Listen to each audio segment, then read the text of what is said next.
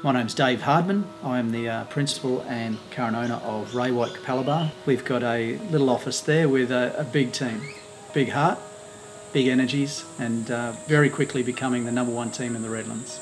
We've had this office running now for the best part of four and a half years. We bought this office with a little bit of nostalgia around it, knowing fair well that this office was the first ever franchise for Ray White. We've also got a fantastic property management division two young ladies there which have taken absolute pride in what they do and we've found a lot of our clients have sort of become friends. Probably the point of difference with our property management as opposed to a lot of others, they do have direct communication with myself as the principal. Yeah, as far as the business giving back to the community, what we found the best way to do that is probably through the clientele that we keep. Giving back, it's more about communication.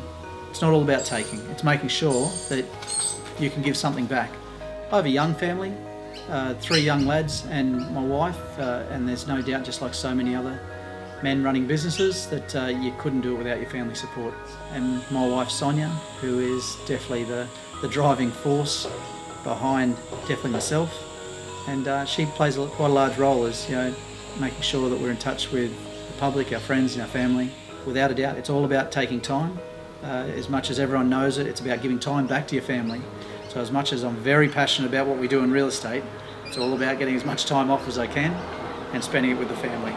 Uh, with Ray White having over 100 years experience, myself with over a decade experience, and now a team showing itself to be the number one in the Redlands. If you ever need real estate needs or help, you come down to any one of our team, we'll have a chat to you and see what we can't do to help you out. I look forward to chatting to you soon.